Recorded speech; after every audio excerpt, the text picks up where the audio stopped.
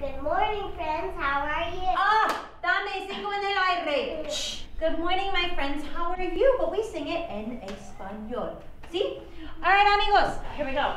Uno, dos, tres dedos, cuatro, cinco, seis dedos, siete, ocho, nueve dedos, diez dedos son.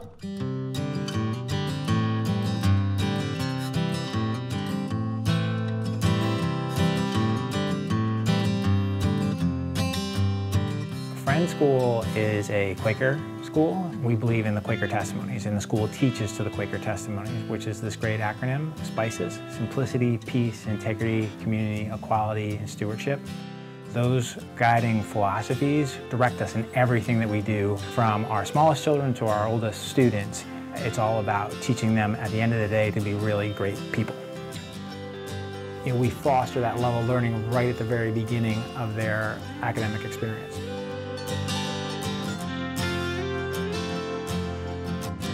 It's the goal of our cottage program to meet every child where they're at. And we want to foster a love of learning that starts right off the bat. The way you do that is by figuring out what are the kids passionate about. If you are music class, give me a twist.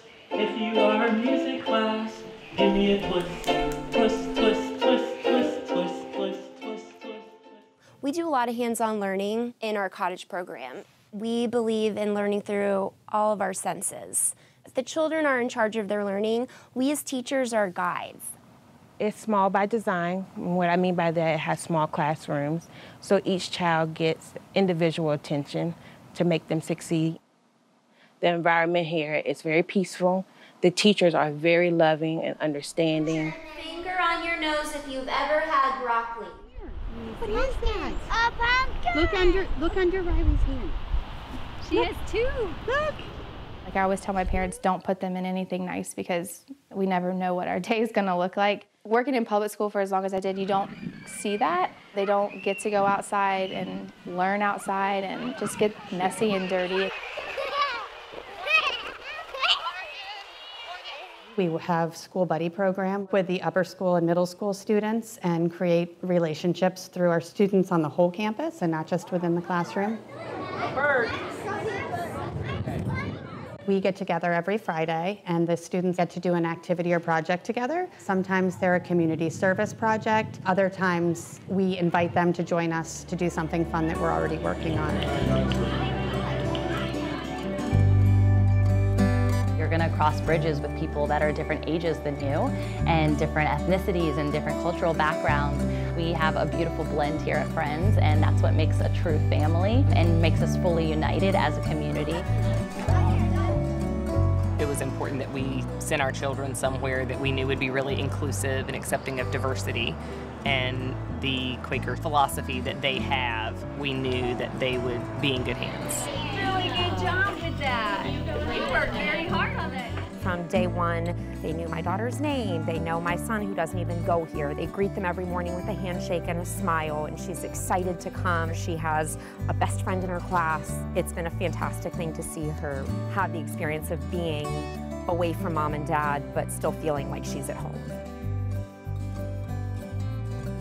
I grew up knowing about the Friends School. As a child, I actually wanted to come here. It just seemed like it was just the school where you, as a kid, would dream of going. It was like this far-fetched place, hidden in the woods in Virginia Beach.